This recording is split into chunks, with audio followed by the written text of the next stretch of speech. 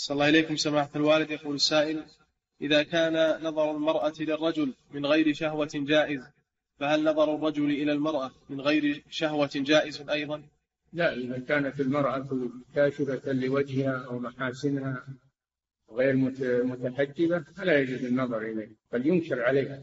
إذا نظر إليها معناه أنه أقرها على ما هي عليه فينكر عليها يأمرها بالحجاب. نعم.